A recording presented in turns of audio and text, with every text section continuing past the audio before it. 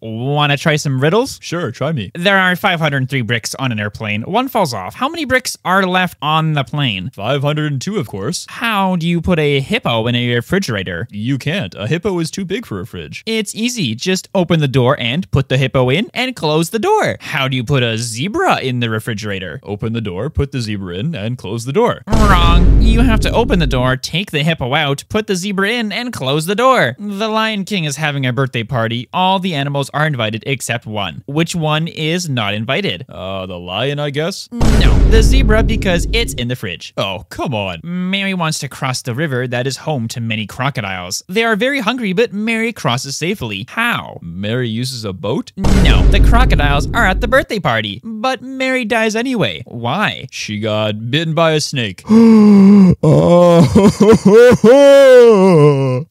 No, she got hit by a falling brick.